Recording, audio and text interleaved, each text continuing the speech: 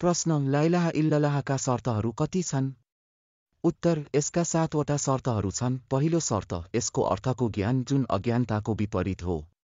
सर्वशक्तिमानले भन्नुभयो जान्नुहोस् कि अल्लाह बाहेक कोही ईश्वर छैन।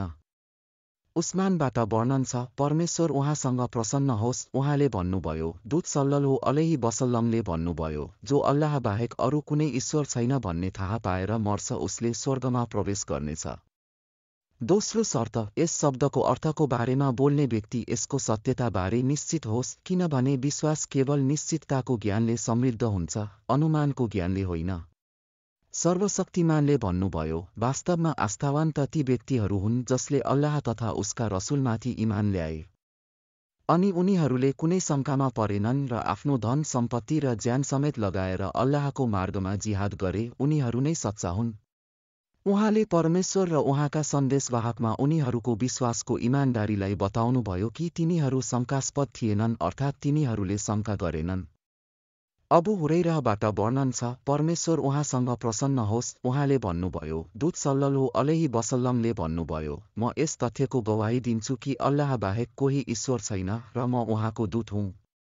यी दुई आधारभूत कुराहरूमा कुनै शङ्का नगरी अल्लाहलाई भेट्ने दास स्वर्गमा प्रवेश गर्नेछ। तेस्रो शर्त यस शब्दलाई उसको हृदय र जिब्रोले स्वीकार गरोस् र सर्वशक्तिमान ईश्वरले हामीलाई अगाडि र पछाडि र अस्वीकार गर्नेहरूमाथि बदला लिने कुराको बारेमा बताउनु भएको छ। चौथो शर्त अस्वीकार गर्ने व्यक्तिले सङ्केत गरेको कुरालाई बुझाउनु। सर्वशक्तिमान परमेश्वरले भन्नुभयो जसले पूर्ण आज्ञाकारी भएर आफ्नो अनुहार पूर्ण रूपले अल्लाहतर्फ फर्काउँछ वास्तवमा उसले भरोसायोग्य सहारालाई समात्यो। अर्थात् अल्लाह बाहेक कोही ईश्वर छैन उसको अनुहार समर्पण गर्नुको अर्थ यो हो कि ऊ आज्ञाकारी छ। र ऊ आदेश मान्नेहरू मध्ये छ एकेश्वरवादी छ र जसले आफ्नो अनुहार ईश्वरमा समर्पण गर्दैन र राम्रो काम गर्ने छैन उसले सबभन्दा भरपर्दो हात समातेको छैन। पाँचौँ शर्त सत्यता जुन झुटको विपरीत हो जुन मनबाट सत्य बोल्नु हो उसको हृदयले उसको जिब्रो सुस्त बनाउँछ। सर्वशक्तिमान परमेश्वरले भन्नुभयो के मानिसहरूले इमान ल्याए भन्दैमा उनीहरूलाई त्यत्तिकै छोडिनेछ भन्ने ठानेका छन्? र तिनीहरूको परीक्षा लिइने छैन? जबकि मैले यिनीहरूभन्दा पहिले बितेका सबै मानिसहरूको कठिन परीक्षा लिइसकेका छु अनि अल्लाहले अवश्य जान्नेछ कि को सत्यवादीहरू हुन् र को झुठाहरू। मुआज बिन जबलबाट वर्णन छ।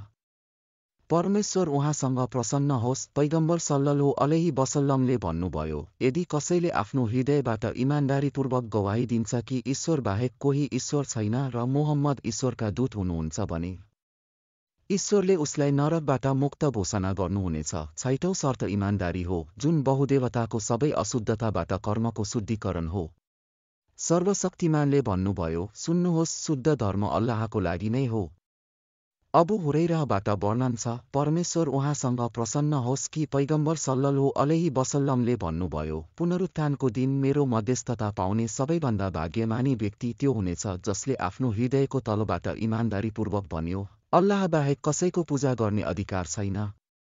सातौं शर्त यस शब्दको लागि प्रेम र यसलाई पूरा गर्ने चाहना र यसलाई स्वीकार गर्ने र यसको शर्तहरू पालन गर्ने सबै मानिसहरूको लागि प्रेम र त्यसको विरोधाभासलाई घृणा गर्ने। सर्वशक्तिमानले भन्नुभयो र केही मानिसहरू यस्ता छन् जो अल्लाहबाहेक अरूलाई उनको समकक्षी ठहर्याउँछन् र तिनीहरूसित यसरी प्रेम गर्छन् जसरी अल्लाहसित मात्र गर्नुपर्ने हो। अनसबाट वर्णन छ परमेश्वर उहाँसँग प्रसन्न होस्। कि पैगम्बर सल्लल्हु अलैहि वसल्लमले भन्नुभयो तिमीहरूमध्ये कोही पनि विश्वास गर्दैनौ जबसम्म म उसलाई उसको बाबु उसको सन्तान र सारा मानव जाति भन्दा प्यारो बनाउँदैन। अल्लाह धेरै ज्ञानी छ।